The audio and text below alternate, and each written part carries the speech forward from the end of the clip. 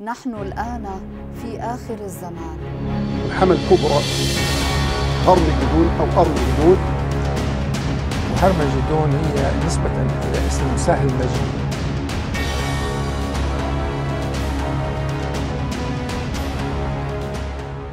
نقف على أرض دابق بالقرب من حلب حيث ستجتمع جيوش الروم بانتظار المسلمين.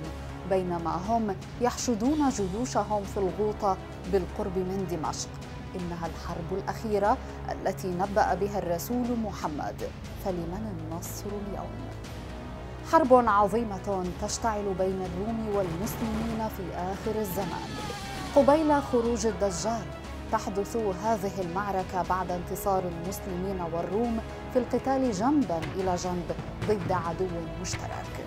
وبعد انتصارهم ينشب صراع يدعي فيه مسيحي أن الصليب أتى بالنصر فيرد مسلم على ذلك أن الله انتصر ثم يكسر الصليب فتغدر الروم وتقرع طبول الحرب. هي معركة تشيب لها الرؤوس وفقا لبعض روايات الأحاديث أنه إذا مر عصفور من فوق المعركة يسقط ميتا قبل أن يصل إلى نهايتها. لكننا سننزل معا إلى الميدان الآن.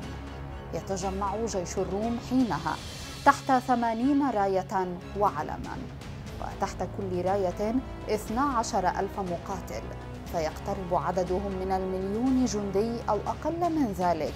وكعادة حروب المسلمين هم الأقل عددا لكنهم الأشد بأسا كما تتحدث كتب التاريخ الإسلامي. يستمر القتال بين الطرفين في معركة مهيبة لمدة ثلاثة أيام من دون أن ينتصر طرف لكن يباد فيها الكثير من المسلمين ويقل عددهم.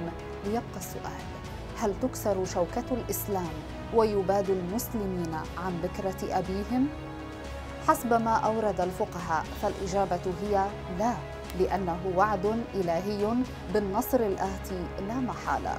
ففي اليوم الرابع يحتشد ما تبقى من جيش الإسلام وهو الجيش الذي يخرج من المدينة وهو من خيرة أهل الأرض يومئذ. عندما يرى الروم ذلك يطلبون من جيش المسلمين الذي جاء بالمدينة أن يتنحوا جانبا ويتركوهم يقاتلون من أسروا منهم. ويحاولون زرع الانقسام والفتنة بين المسلمين لكن يرفض جيش المدينة التخلي عن بقية جموع المسلمين.